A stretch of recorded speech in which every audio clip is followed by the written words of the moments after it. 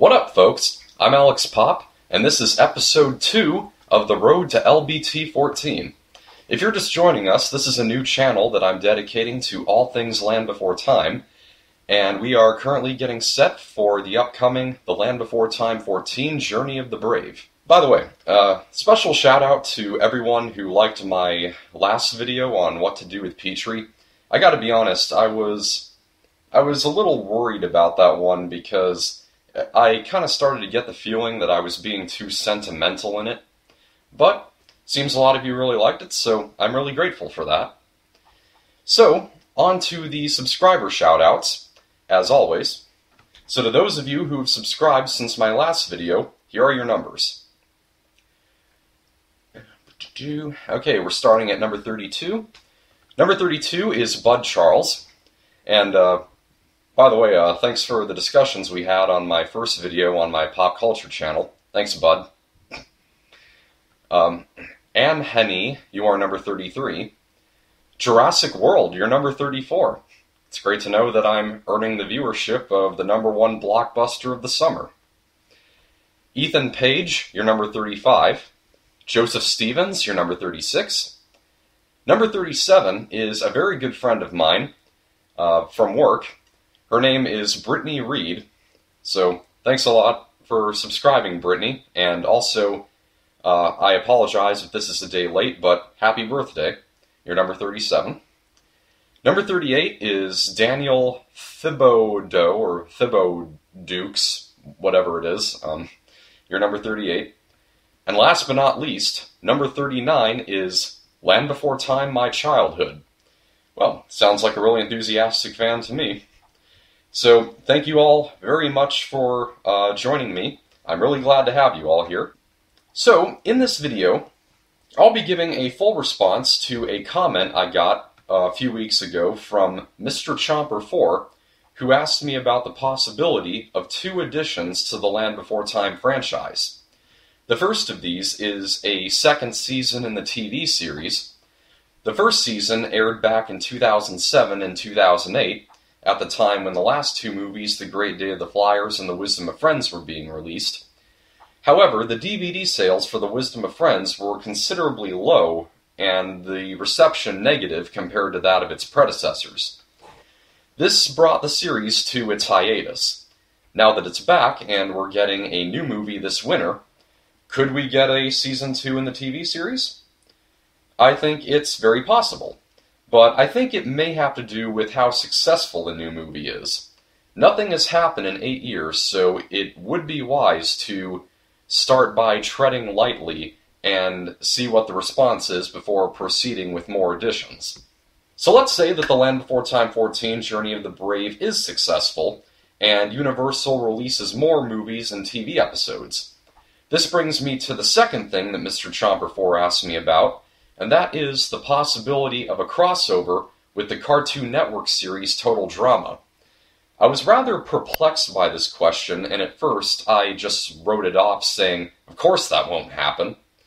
But if I do really have viewers who wonder this, then I don't want to make any of you feel dumb. So instead, I'm going to give a thorough explanation on why I don't think a crossover like that would work. The main reason is their difference in tone.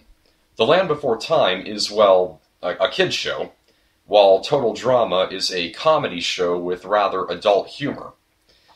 And the difference in tone is often due to very different creators. The Land Before Time is owned by Universal Studios, and Total Drama was developed by a Canadian uh, distributor called Fresh TV Incorporated. Plus, they have visibly different animation styles. It's contrasts like these that make The Land Before Time and Total Drama completely incompatible. As a rule of thumb, any two media can't just be slapped together. It's important to consider how compatible they are. Um, let's check out some other crossovers, for example. When I was a kid, I remember seeing a crossover of the Jetsons and the Flintstones. This is a crossover that works because both shows were animated sitcoms, and they were both distributed by Screen Gems and produced by William Hanna and Joseph Barbera. On top of that, the scenario is plausible in the context of these, t- of these two shows because the Jetsons are inventors. So in the movie, the Jetsons build a time machine which takes them back to the time in which the Flintstones are living. The Avengers is another crossover that works because all of the characters are owned by Marvel and it takes place in a universe where supernatural and or high-tech superheroes exist. So there are certain criteria that uh, that two media should meet before they've crossed over with one another. From what I've seen, criteria those criteria essentially include the same distributor, genre, tone, and visual style. Here are two pairs of movies that let's say had the potential of being crossed over with one another. We'll say Tangled and Frozen and The Dark Knight and Fantastic Four. Which would you say is the better pair? Well, if you think about it, Tangled and Frozen are the more compatible because they are both owned by Disney Animation Studios. They are of the animation fairy tale genre, and they have the same tone and animation. So a crossover with Tangled and Frozen seems easily doable. And that's aside from the fact that this happened.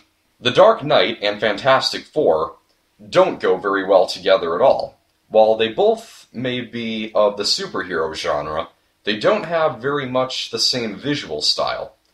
Plus, The Dark Knight is owned by Warner Brothers and is based off of a DC comic, while Fantastic Four is owned by 20th Century Fox and is based off of a Marvel comic.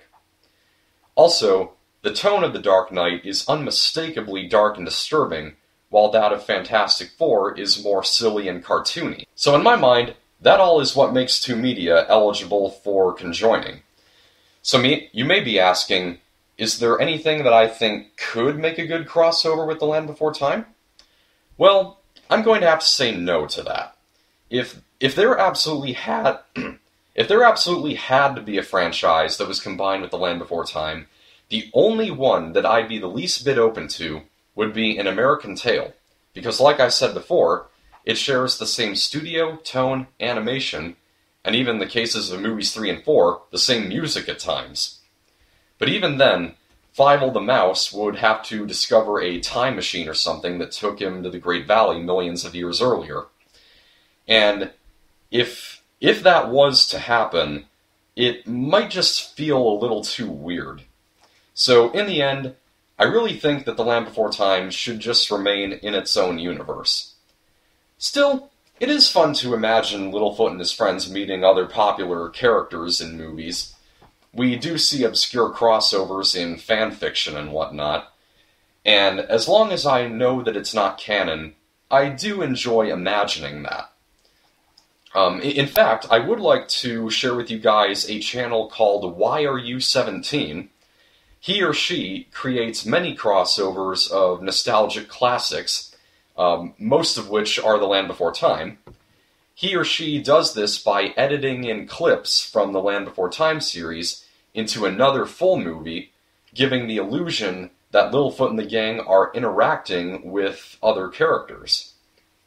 It delivers a really odd sense of amusement and entertainment. I'll add a link to that channel in the description below. Uh, there have been two full movies made so far, and they are Littlefoot's Adventures of the Goonies and Littlefoot's Adventures of Aladdin. The YouTube channel itself mostly just contains the trailers, but the full movies themselves are on Google Drive. I'll add a link to that as well. And it looks like the one that combines The Land Before Time and The Lion King is almost finished and is coming in September, so I'm looking forward to seeing how that turns out. So, yeah, I definitely recommend checking the channel out. So, bottom line, I like to imagine The Land Before Time crossing over with something else, but as far as the actual canon goes, I think it should stay by itself. Uh, that's a wrap for now on the road to LBT 14. If you love The Land Before Time, this is the place to be. You can subscribe for future videos. I do have a lot planned as of right now. This is the currently untitled Land Before Time channel, and I'm your host, Alex Pop. Catch you later.